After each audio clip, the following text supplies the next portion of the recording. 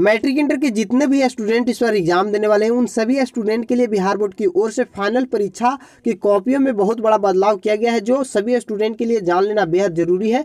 तो आखिर वो बदलाव क्या किया गया है कॉपियों में, जो सभी स्टूडेंट के लिए जानना बेहद ज़रूरी है। इस वीडियो में बने रहे सारा इन्फॉर्मेशन आप लोग को देखने को मिलेगा। देख सकते हैं, बताया गया है कि कदर चार्ज को रोकने के लिए मिलेगा होरिजेंटल कॉपी यानी आप लोग को इस बार जो कॉपी मिलेगा सभी स्टूडेंट का टेंथ और ट्वेल्थ दोनों स्टूडेंट का, वो होरिजेंटल कॉपी मिलेगा फाइनल एग्ज़ाम में। तो आखिर वो होरिजेंटल कॉपी किस तरह से रहेगा और क्या क्या उसमें आप लोग को विवरण को भरना है और क्या क्या गलती वहाँ पर नहीं करना है, जिनसे आगे आपका रिज़ल्ट में किसी प्रकार की दिक्कत ना हो। सारा इन्फॉर्मेशन इस वीडियो में आप लोग को बताने वाला हूँ। बसरते आप लोग इस वीडियो को लास्ट तक देखिएगा, तभी आप लोग के लिए फ़ायदेमंद होने वाला है। तो चलिए वीडियो को शुरू डॉट नेट बच्चे, आप किसी क्वेश्चन में अटक गए हैं या प्रॉब्लम हो रहा फ़ोटो खींचिए क्रॉप और सबमिट कीजिए। पाई वीडियो सोल्यूशन पाँच सेकंड के अंदर। साथ ही साथ चाहे वो क्वेश्चन आप लोग को होमवर्क का हो या CBSE UP Maharashtra Rajasthan MP किसी भी अनदर बोर्ड का हो, साथ ही साथ क्लास छठी से लेकर ब्राह्मी तक, आईआईटी जेम्स मेंस लेवल तक के सभी क्वेश्चन को सोल्व मिलेगा। चाहे विषय प्रॉब्लम आप लोग को फिजिक्स हो, केमिस्ट्री हो, मैथ हो या बायोलॉजी हो, किसी भी सब्जेक्ट का आप लोग को सभी को सोल्व मिलेगा। साथ ही साथ क्लास छठी से लेकर ब्राह्मी तक अभी चल रहा है लाइव क्लासेस, हिंदी और इंग्लिश दोनों मीडियम में। तो तीन करोड़ से अधिक बच्चे ने इस ऐप को डाउनलोड किया है।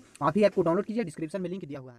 शुरू करते हैं। उससे पहले अगर अभी तक चैनल को सब्सक्राइब नहीं किए तो सब्सक्राइब करके बगल वाले घंटी को प्रेस कर लीजिएगा। तो देख सकते हैं, आप लोग को बताइएगा कि मैट्रिक इंटर की परीक्षा में कदर चार्ज को रोकने के लिए परीक्षार्थी को इस बार होरिजेंटल कॉपी मिलेगा। यानी टेंथ और ट्वेल्थ का जो फाइनल इस बार एग्ज़ाम होगा, उसमें कदर चार्ज को रोकने के लिए इस बार आप लोग को परीक्षार्थी को होरिजेंटल कॉपी दिया जा रहा है। तो आखिर वो होरिजेंटल कॉपी क्या रहेगा और क्या क्या उसमें प्रोसेस है, सारा इन्फॉर्मेशन बताने वाला हूँ। बताया जा रहा है कि एक फरवरी से आयोजित होने वाले इंटर की परीक्षा में कॉपी से लेकर प्रश्न पत्र निकालने की प्रक्रिया बदल गई है। यानी आप लोग को इंटर की परीक्षा से आयोजित होने वाले इस बार आप लोग को प्रश्न पत्र जो निकाला जाएगा, उसमें भी आप लोग को प्रोसेस पूरी तरह से बदल दी गई है। देख सकते हैं, आप लोग को बताया गया कि पारदर्शिता को लेकर अलग अलग सेट प्रश्न पत्र के साथ साथ आप लोग को अलग अलग सेट कॉपी का भी होगा।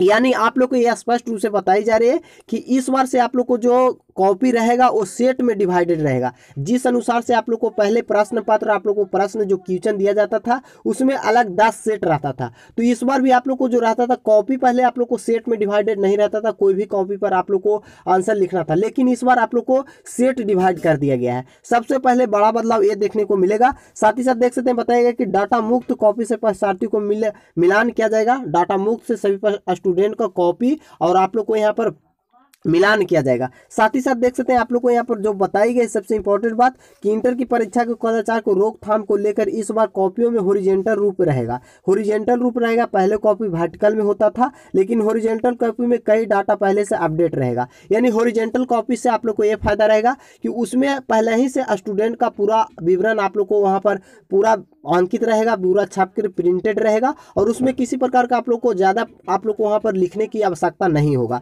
तो यहाँ पर देख सकते हैं आप लोग को वर्टिकल कॉपी में ओरिजेंटल कॉपी में डाटा पहले से अपडेट रहेगा। आप लोग को उसमें कुछ भी लिखने की आवश्यकता नहीं होगा। देख सकते हैं आप लोग को यहाँ पर बताइए मुख्य परीक्षा में किसी तरह की कॉपियों को हेर फेर नहीं होगी। इसे लेकर होरिजेंटल कॉपी का आवरण आप लोग को पृष्ठ में तीन भाग में, तीन भाग में पश्चाती से संबंधित विभिन्न विवरण पहले से आप लोग को अंकित रहेगा। यानी पश्चाती को तीन विवरण आप लोग को उसमें पहले ही से अंकित रहेगा, आप लोग को भरने की आवश्यकता नहीं रहेगा। साथ ही साथ देख सकते हैं, परीक्षार्थियों, केवल आप लोग को भरना होगा बाएँ भाग में विषय।